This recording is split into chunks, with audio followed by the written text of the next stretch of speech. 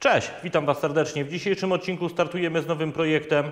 E, Wykonamy, myślę, że zawrzemy to w jednym odcinku. Tutaj nie powinno się nic wydarzyć. Bardzo prosta e, robota, bardzo prosty projekt, także e, pewnie będzie tylko i wyłącznie jeden odcinek. Natomiast skupimy się na wykonaniu stelaża pod wystrój, pod ozdoby do wystroju sali weselnej. Takie jest przeznaczenie tego stelaża.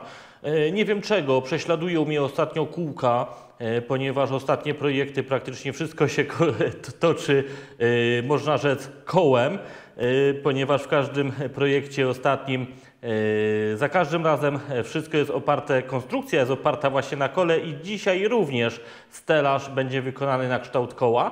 Natomiast e, dzisiaj już nie rurka, tylko kształtownik 20 na 20 i całe szczęście, ponieważ rurkę dosyć trudno się walcuje, szczególnie nie mając kamieni kształtowych. Z kształtownikiem o przekroju kwadratowym pójdzie znacznie prościej. Jest to kształtownik 20 na 20 ze ścianką dwójką, także nie powinno już być dzisiaj niespodzianek. Lecimy z tematem, nie przedłużam. Zapraszam na film.